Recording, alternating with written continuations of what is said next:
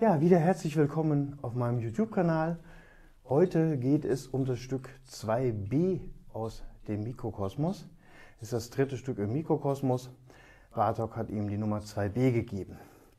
Und es ist das erste Stück, in dem er aus der C-Dur-Lage ausbricht. Er bleibt auf den weißen Tasten. Es wird noch keine weiße Taste gespielt, aber es gibt eine kleine Veränderung in der Handposition. Vorher haben wir die C-Lage gehabt, der Daumen auf C2. Und jetzt müssen wir den Daumen runterschieben, sodass er auf dem A liegt. Ihr könnt es in den Noten oben sehen. Hier ist der erste Finger auf dem A.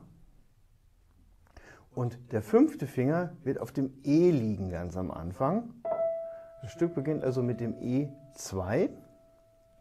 Und wenn ihr jetzt 4 und 5 runterspielt, äh 4, ja 5, 4, 3 spielt, dann landet ihr mit dem dritten Finger auf der grünen Taste.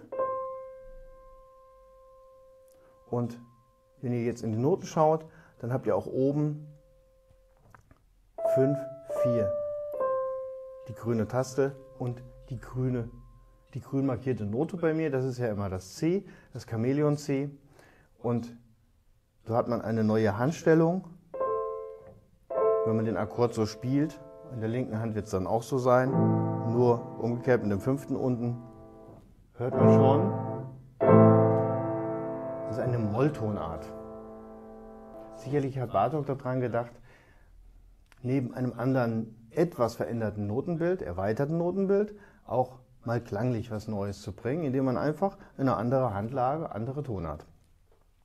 Ähm, genau. Achso, zur linken Hand kann ich auch kurz noch erläutern, äh, damit ihr es auch mal gesehen habt. Der dritte Finger liegt wie in der rechten Hand auf der grünen Taste. Beim dritten Finger ist es ja, da treffen sich ja die Hände. 1, 2, 3, 4, 5.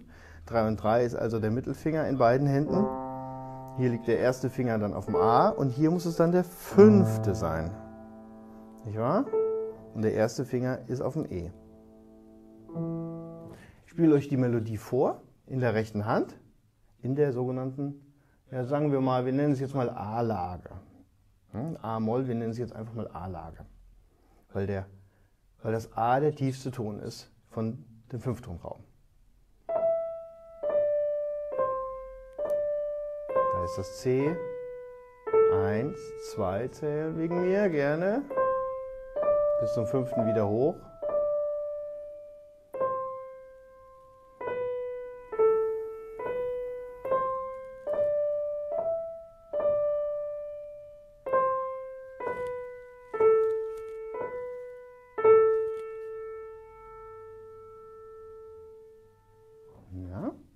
Machen wir es mal. Ruhig mal die linke Hand erst, ja, warum nicht? Habt ihr auch mal diesen Input?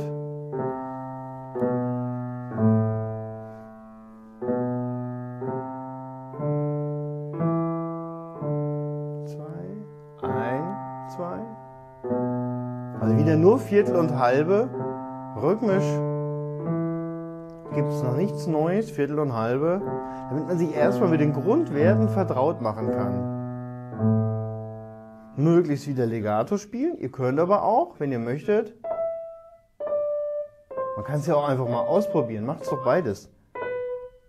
Einmal abgesetzt üben.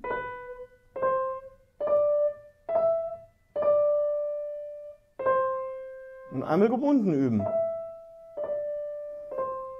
Auf jeden Fall langsam üben. Immer langsam üben. So wie ihr es auch aus meinen anderen Tutorials kennt, zur Musette von Bach oder aus den, in den, Basis, Basistutorials sage ich es auch immer wieder. Immer in kleinen Häppchen üben.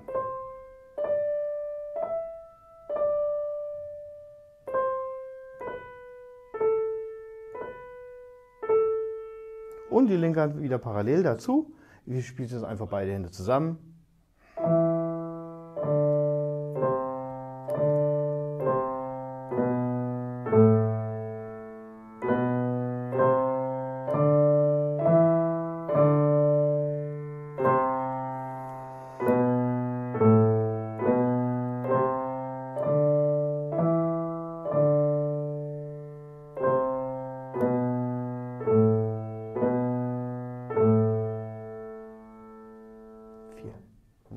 Steht die Vierschlagnote am Schluss als Ausklang.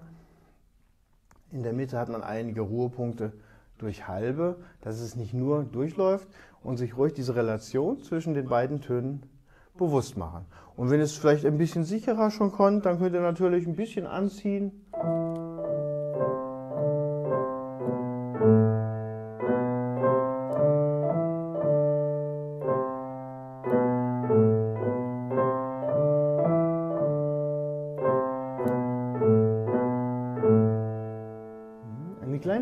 7, 5 Bartok hat sich ja sehr stark mit der Volksmusik seiner Heimat beschäftigt und gerade Volkslieder haben ja auch viel mit einem überschaubaren Tonraum zu tun. Vielleicht hat ihn auch das dazu bewogen, diesen, diese ersten Stücke seines Mikrokosmos im Fünftonraum zu schreiben. Und er bleibt erstaunlich lange auch im Folge der anderen Wände des Mikrokosmos diesem Fünftonraum treu. Es ist also überhaupt nicht schlimm, wenn wir das genauso machen und ihr lange erstmal in dieser, ich sag mal, Kleinartikulation auf einem recht engen Rahmen spielt. Ist auf jeden Fall sinnig. Bis zum nächsten Stück. Tschüss.